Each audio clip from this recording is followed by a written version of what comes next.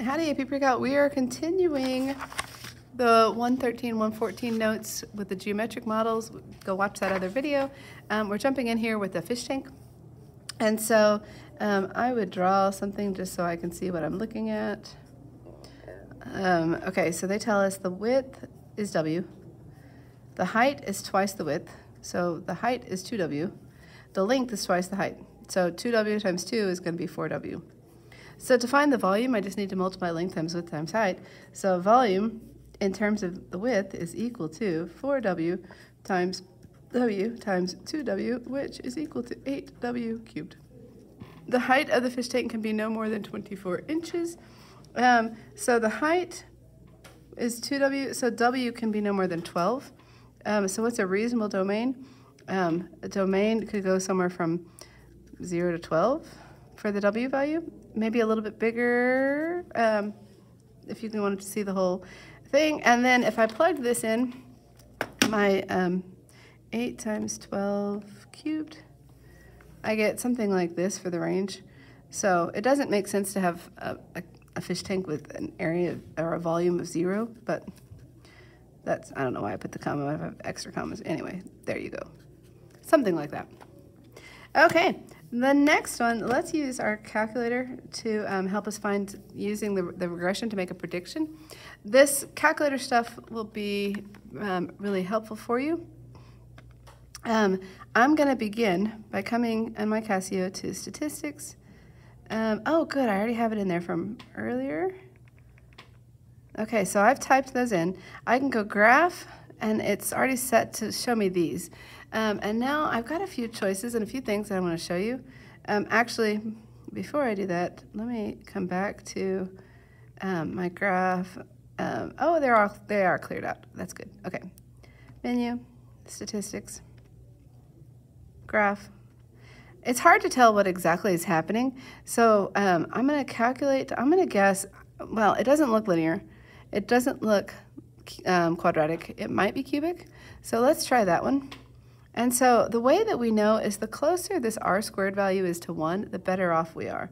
Um, let me show you what we can do. We can copy this into y1, and then I can have it um, draw those points. So you can kind of see there's a few things that are off that graph. Um, I can come back and, um, well, I can do this cubic regression again. Here's the a value, so it's this. Um, so if you scroll down, you can see that it's ax cubed plus bx squared plus cx plus d. Um, and this is about 0.978. So I could write all these down. I don't know that it's worth my time, um, but I copied it into Y1. So now I'm going to look back at this again. I'm going to calculate, I'm going to think, okay, well, maybe it's quartic. I don't know. Um, and so now it's giving me new values here. Um, and this one is um, a science, this is scientific notation, so we'd have to move the decimal three places. Um, but I'm going to copy this into y2 so I can compare the two. Um, when we look at this value, I think that's a tiny bit better. It's not 1, it's not perfect, but it's a little bit better. Um, and I can draw this, and you can see there's still a few points that don't quite hit, but, but so it goes. Um, now here's the cool part. Okay, so it says use your calculator to find a regression equation. And I wrote them out. I think I let f of x be my cubic, and I let g of x be my quartic. And then what I'm going to do is I'm going to come back to my graph, and they're not turned on. So I have to select this one and turn that on. Okay, so there it graphed it for me. I meant to come back and select this one also.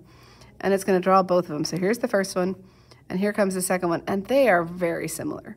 Um, uh, I don't know, maybe the red one is a tiny bit better, but I, um, I think that you can kind of answer that question however you want. Um, so they wanted us to use that model to predict where it will be at seven seconds. So this is where I would do G-solve. I would come over to YCal.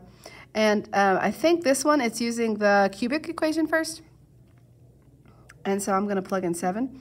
And from the cubic equation, I get that you're about 2.7902 um, feet high.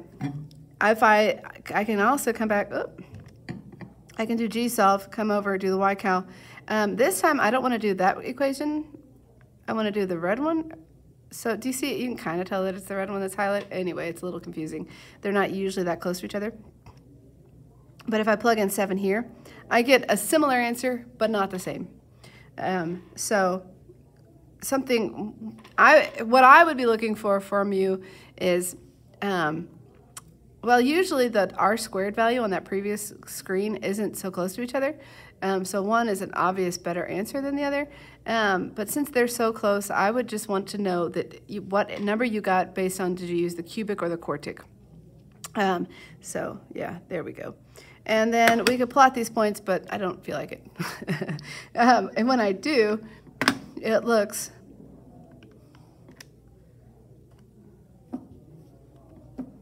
like that.